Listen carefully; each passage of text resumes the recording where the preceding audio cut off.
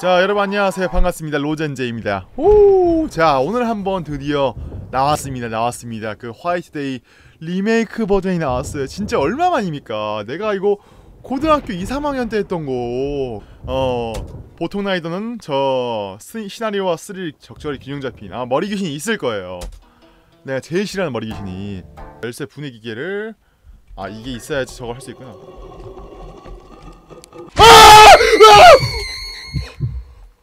미친.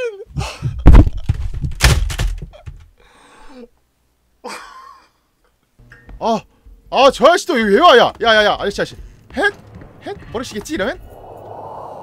아 또 왔다 또 또 또 또또또올 것 같아. 아 야 소리 바람 소리 들렸어 너무 빨리 와. 미치겠다. 개 무서워 이거.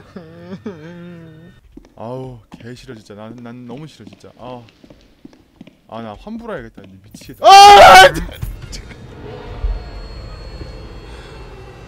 아 나 너무 싫어 이 게임 진짜. 아 나 진짜 하기 싫어.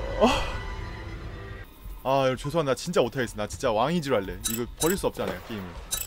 나 진짜 안 될 것 같아요. 나 진짜 진짜 안 될 것 같아. 나 진짜 정말 나 나 진짜 바지에 오줌 살 오줌 지릴 것 같아 진짜.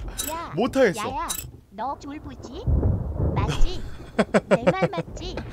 나아나 쫄보 쫄보 인정. 응 쫄보 인정. 응 인정 어 쫄보 인정. 아 안되겠다. 어.